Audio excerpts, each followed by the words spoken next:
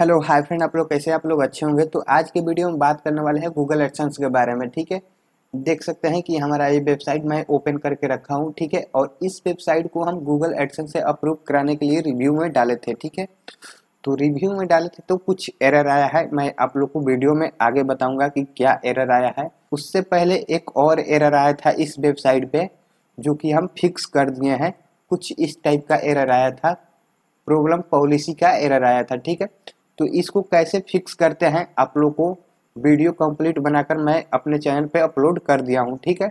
अगर इस वीडियो को नहीं देखे हैं तो आपको आई बटन में लिंक मिल जाएगा और वीडियो के डिस्क्रिप्शन में भी लिंक इस वीडियो को डाल दूँगा। तो इस वीडियो को देखकर और इस तरह का एरर का, जो इस तरह का एरर आता है तो इसको फिक्स कर सकते हैं इस वीडियो को देखकर, ठीक है?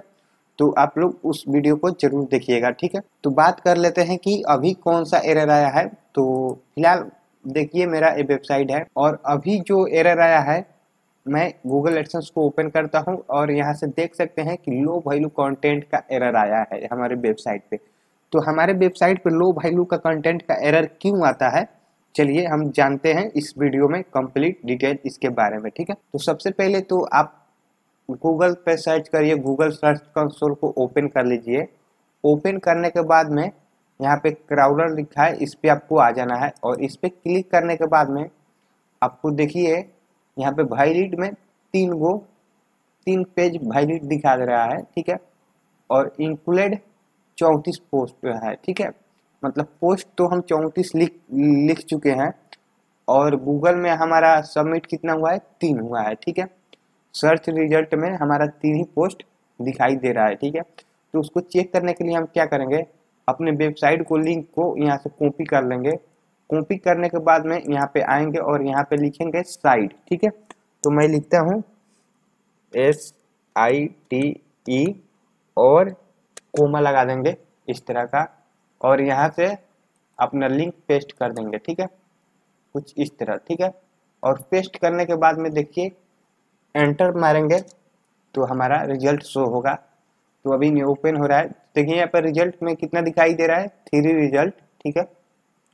जो कि देखिए, हमारा एक तो हमारा होम पेज मतलब इंडेक्स हुआ है, और दूसरा में हमारा पोस्ट इंडेक्स हुआ है, और तीसरा में भी एक पोस्ट इंडेक्स हुआ है, ठीक है?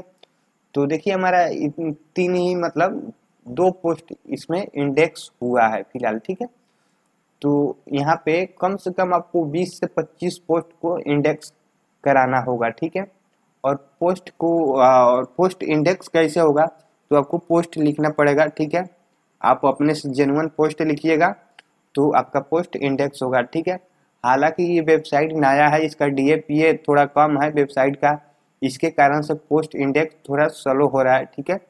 इसके कारण से लो वैल्यू कंटेंट का एरर आया है, ठीक है? और ये वेबसाइट अभी नया क्रिएट मैं किया हूँ, ठीक है? और इसीलिए इसमें पोस्ट इंडेक्स थोड़ा लेट हो रहा है, ठीक है? तो कुछ पोस्ट को इंडेक्स करेंगे, उसके बाद में इस प्रॉब्लम को, जैसे यहाँ पे आपका रिज़ल्ट 20 से 25 शो करने लगेगा, आपका लो वैल्यू कंटेंट का एरर खत्म हो जाएगा, ठीक है? और आपको हाई क्वालिटी का मतलब पोस्ट लिखना है, ठीक है? तो और 20 से 25 पोस्ट लिख देने के बाद में यहाँ पे बॉक्स पे चेक कर दीजिएगा चेक करने के बाद में यहाँ पे लिखा है रिक्वेस्ट रिव्यू इस पर आपको क्लिक कर देना है, ठीक है? इस पर क्लिक करने के बाद में आपका वेबसाइट ऑलरेडी फिर से रिव्यू में चल जाएगा, ठीक है? और रिव्यू में जाने के बाद में आपका अप्रूव हो जाएगा, ठीक है? कोई भी प्रॉब्लम नहीं होगा, ठीक है? तो आज के वीडियो में बस इतना ही, फिर मिलेंगे अगले वीडियो में तो हम लोग इस वीडियो के यहीं पे एंड करते हैं।